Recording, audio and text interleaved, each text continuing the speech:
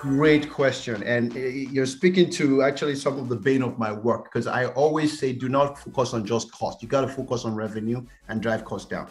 Um, we have this 330, 300 model that, that is out there that says for every $3 of energy that you save, right, there's $30 per square feet of live space uh, that you get if you if you, you have the right tenants, platform spaces, and then for that 30, you have $300 per square feet in productivity.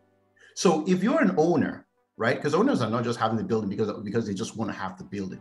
There's a reason why they have the building. So let's, for example, say there's a CBR, not a CBRE, but let's say um, there's a company that, you know, oh yeah, it could even be CBRE or JLL that have has this building or they're running it for a company, right? There's a cost for every dollar of that you design the running cost is about $60. So if you can reduce that, and even in Microsoft, we have about 25% um, based on what we're using BIM and digital twin, we're saving 25% in cost. But that's not where the big saving is.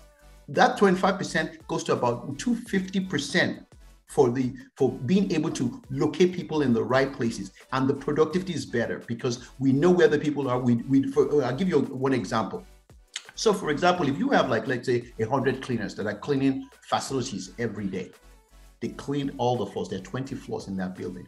Well, if you have the right IoT data, right, you can tell when people are using what floors. So you don't need to send the people every day to clean because maybe the 20 floors that are not even being used. So the data will tell you and it will predict that for you.